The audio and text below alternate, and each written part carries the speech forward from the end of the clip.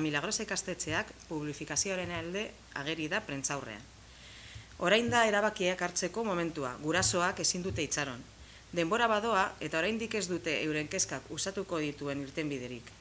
Hemendik, gure babesa dutela, eurek proposatzen dituzten irtenbidearen alde agertuko garela, eta gure oso kezkagarria den egoerare honi irtenbidea emateko pausoak ematearen alde gaudela esan nahi diegu.